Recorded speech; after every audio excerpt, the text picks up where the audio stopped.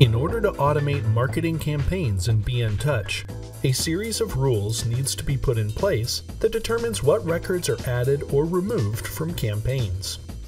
These rules are called triggers, and understanding their use in marketing automation will save you considerable time and effort. There are a few ways to set up triggers for a campaign. If you use the Quick Setup Wizard for your campaign, certain triggers may already have been added to the campaign as part of that process.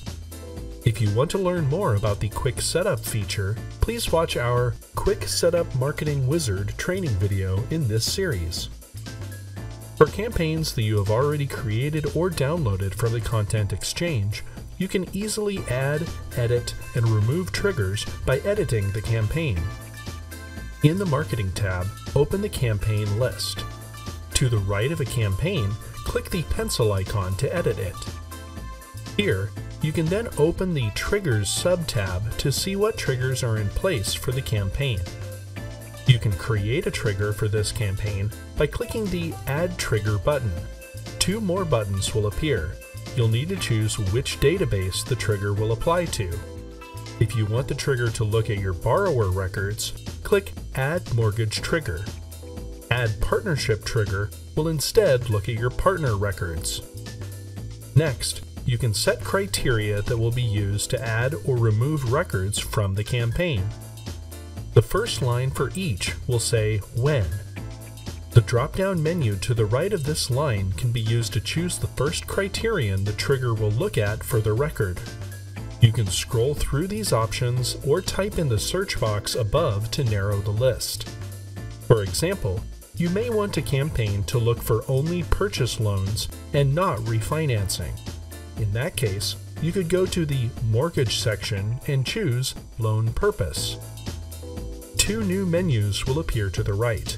In the second one, choose how the trigger will examine the information in the field you selected. In the previous example, you would choose Exactly Matches because you know the purpose of the loan you want to target.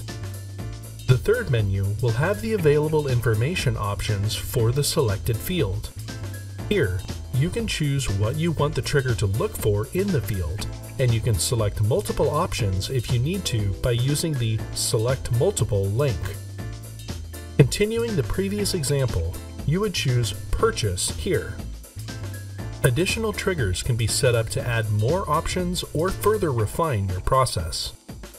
You can add records of a specific marketing sequence step or group, those from a specific zip code, or even records with information in custom fields you've set up for your business. You can also set triggers to remove records from campaigns below. This is important for marketing that is only relevant to clients or partners at a specific time. For example, you may want a newsletter campaign to go to all of your active partners, but you may want to stop sending them marketing email if you don't work with them anymore.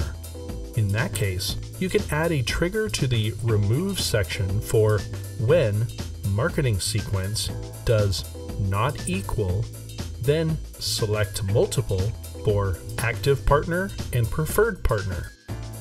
This way, the campaign will automatically stop for any partners that you remove from those sequence steps. Once you've set all of the rules for a campaign, click the Add Trigger button below you will be returned to the Triggers subtab for that campaign, and you'll see the new trigger listed below. Here, you can edit or delete triggers using the icons to the right, or delete multiple triggers using the checkboxes to the left and the button above the list.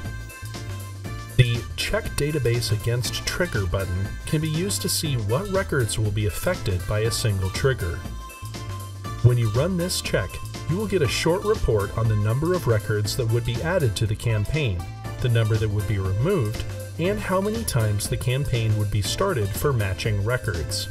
You will then be given options to start or stop the campaign for those records. You can also use the Reverse Trigger button to stop the campaign for all records that were started by this trigger. You can also add triggers without having to edit a campaign first. In your Marketing tab, open the Campaign Triggers subtab. Instead of listing automation triggers for a specific campaign, this page will show all active triggers and sort them by campaign. When you click the Add Trigger button here, you will be prompted to choose a campaign for the new trigger from a drop-down menu. You can type into the search box here to narrow results. Otherwise, adding triggers this way follows the same process as before.